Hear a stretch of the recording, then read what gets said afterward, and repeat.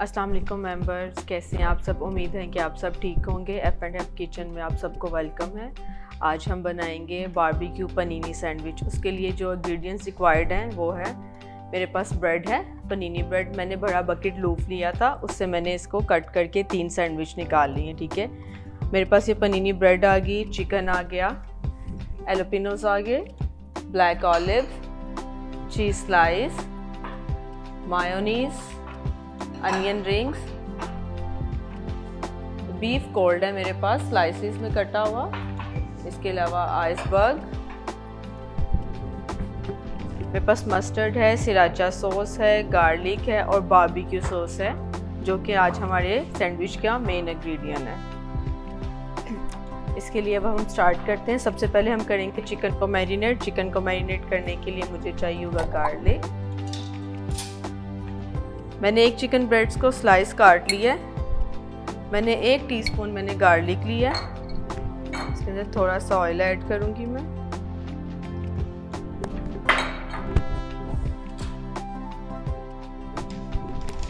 साथ ही मैं इसमें ब्लैक पेपर और सॉल्ट ऐड करूँगी। हाफ़ टी स्पून के करीब मैंने ब्लैक पेपर लिया और टू टेस्ट मैंने सॉल्ट ऐड किया। इसको अच्छे से मिक्स करूँगी। और मैं इसके अंदर एक टीस्पून के करीब पूरा मस्टर्ड ऐड करूँ ये लीजिए, एक टीस्पून के करीब। इसको अच्छे से मिक्स कर लेंगे और इसके अंदर हम अपना चिकन मैरिनेशन कर लेंगे। चिकन को मैरिनेट कर लेंगे इसके अंदर। ये हमारी मैरिनेशन रेडी हो गई है। तो हम इसके अंदर चिकन ऐड करेंगे और इसको अच्छे से मैरिनेट करेंगे।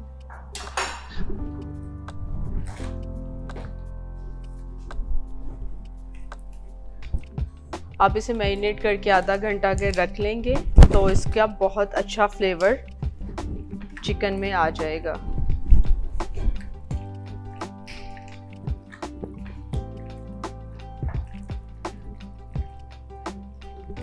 देखिए मेंबर इसको आपने अच्छे से मैरिनेट कर लेना है।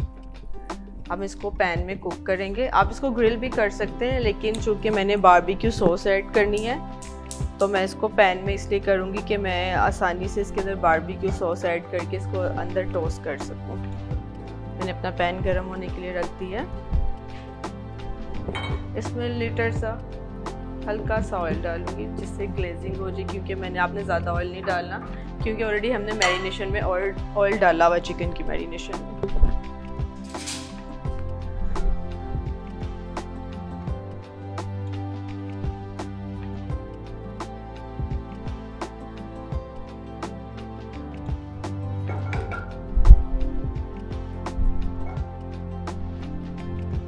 अच्छा आपने जब भी चिकन कुक करना है ना, आपने उसको थोड़ा सा पैन को पहले गर्म कर लेना है। जब आप पैन को गर्म कर लेंगे तो उससे ये होगा, आपके चिकन का कलर बहुत अच्छे से आता है।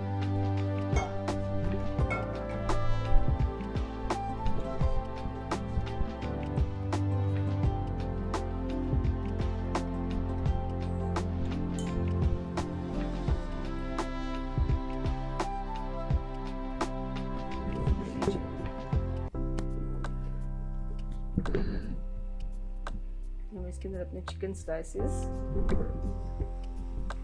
कुक करेंगे पैन में।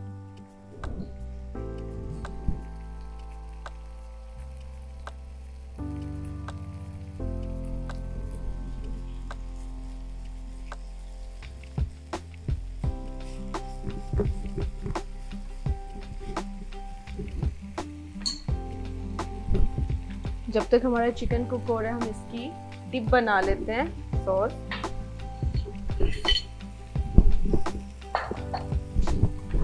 सॉस के लिए मैंने लिया मायोनीज एक कप इसमें मैं ऐड करूँगी वन टीस्पून के करीब सिराचा सॉस थोड़ा इसको स्पाइसी सा करने के लिए तो बहुत अच्छा सिराचा का फ्लेवर निकलेगा।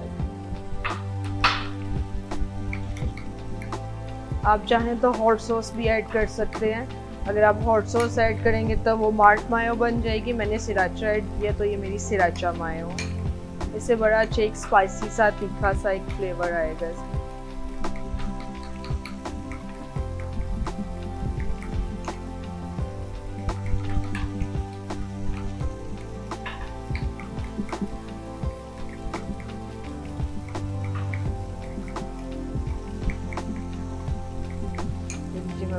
सॉस रेडी है, जो हम इसकी असम्बलिंग में अप्लाई करेंगे।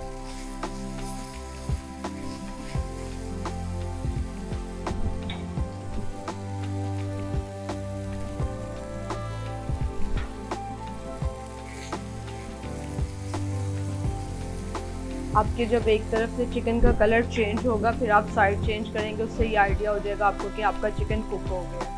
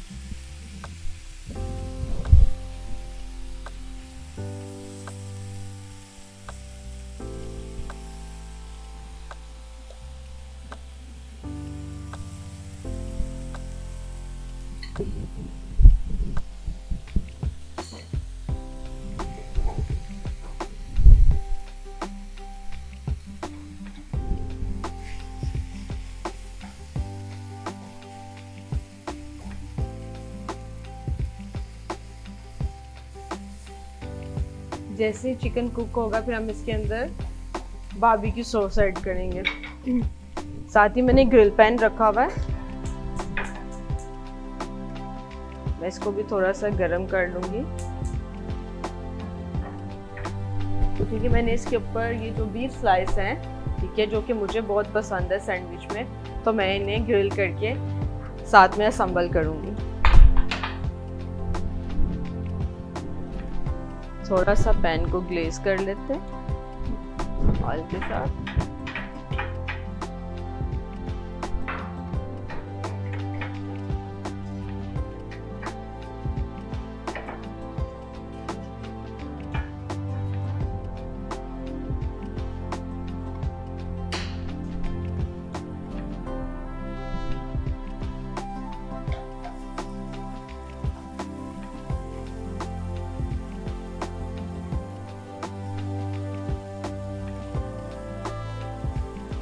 देखिए मेंबर ये ऑलमोस्ट मेरा चिकन कुक हो गया। अब मैं इसमें थोड़ी सी बाबी की सॉस ऐड करूँगी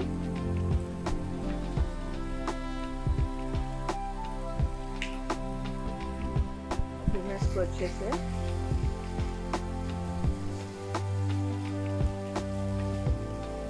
इसमें इसको अच्छे से ग्लेज करके थोड़ा सा कुक करूँगी।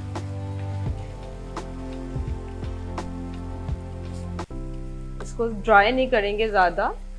नहीं तो हमारे ड्राइनेस आएगी सैंडविच में। कम कुक करेंगे थोड़ा सा जिससे हमारा सैंडविच बहुत जूसी सा अच्छा सा कुक होगा।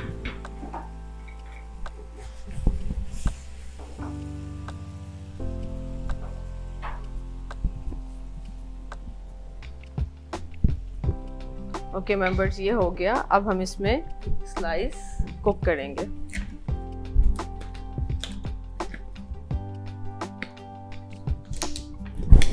चिकन हमारा रेडी है। अब हम इसे असम्बलिंग में इस्तेमाल करेंगे।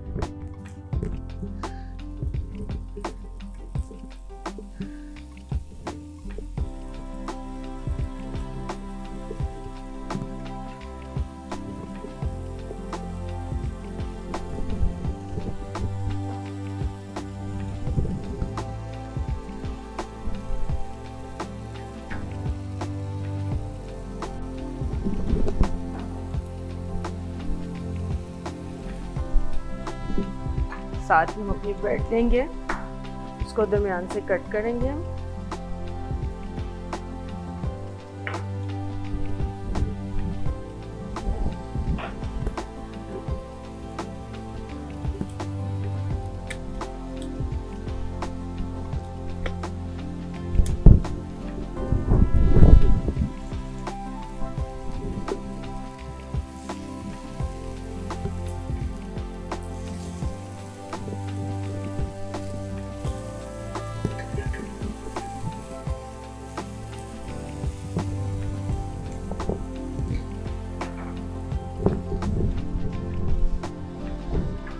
अब हम सैंडविच की असम्बलिंग करेंगे।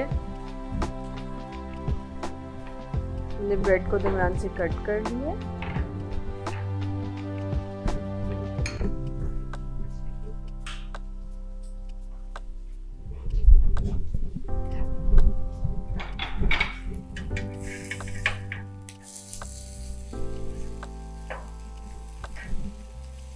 हमारे बीफ स्लाइस भी कुक हो गए हैं।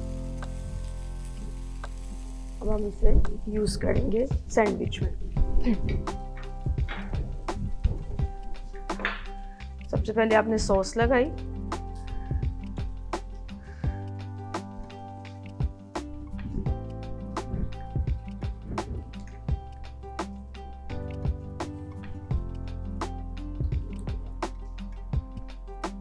मैं इसे पनीनी मशीन में ग्रिल करूँगी।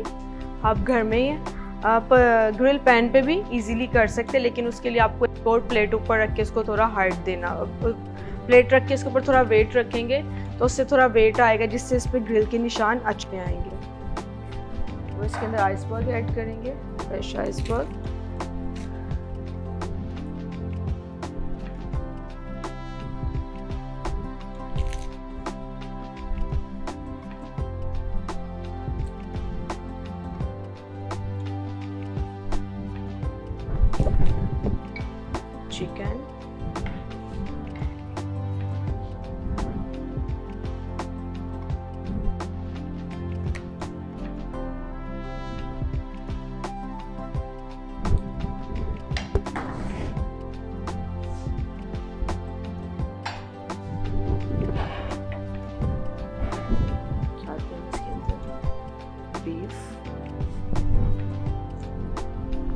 जो हमने ग्रिल की है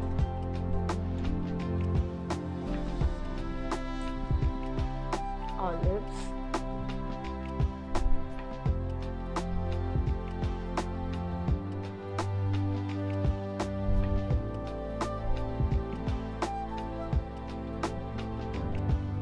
jalapenos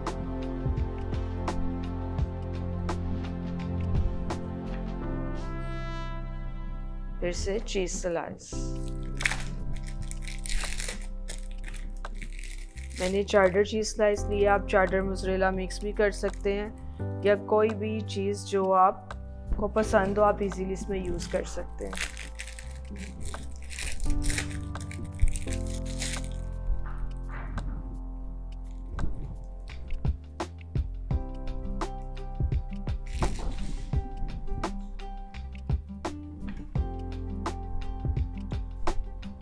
ये हमारा सैंडविच हम इसको हल्का सा ग्लेज कर लेंगे ऑयल से।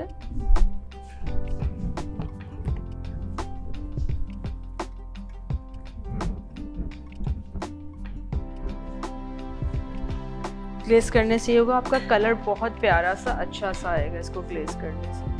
हमने अपनी पनीनी मशीन ऑन की हुई है। थोड़ा सा टाइम लगेगा इसको। एक से दो मिनट और में ये गर्म हो जाएगी। जब ये गर्म हो जाएगी तो हम इसके अंदर दो से तीन मिनट के लिए अपना पनीनी सैंडविच रखेंगे और फिर हम आपको इसके कट करके दिखाएँगे कि इसका फ्लेवर कैसे निकलता है।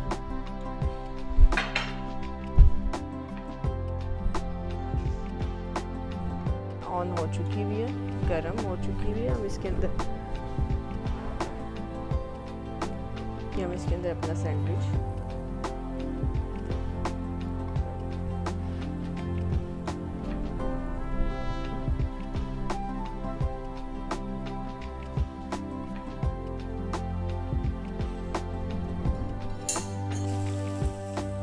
हमारी ये पनीनी रेडी हो गई है।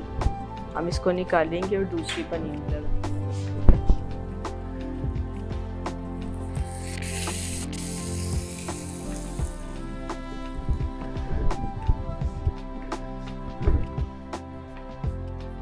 दूसरा सैंडविच इसमें रखते हैं।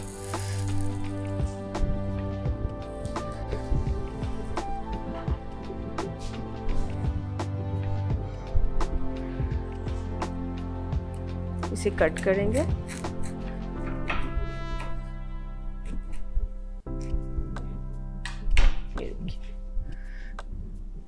बहुत ही क्रिस्पी सा ये देखिए इसका कलर और ये देखिए।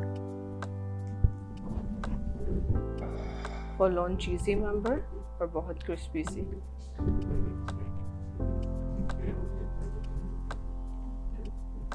ओके जी, हमारा ये सैंडविच रेडी है। हमने आज बारबेक्यू पनीनी सैंडविच बनाया इसके लिए आपको एक टिप बताती चलो। इसके अंदर आपने टमाटर का इस्तेमाल नहीं करना और अपनी फेवरेट जो भी वेजिटेबल्स आप उन्हें इस्तेमाल कर सकते टमाटर का इस्तेमाल इसलिए नहीं करना कि टमाटर जब वार्म होगा तो अपना पानी छोड़ेगा। जब वो पानी छोड़ेगा तो आपका जो पनीनी है एकदम वो क्रिस्पी नहीं रहेगा।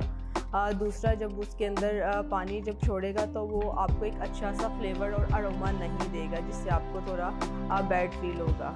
उम्मीद है कि आपको आज की हमारी रेसिपी पसंद आएगी। इन नई रेसिपी के साथ जल्द मुलाकात होगी।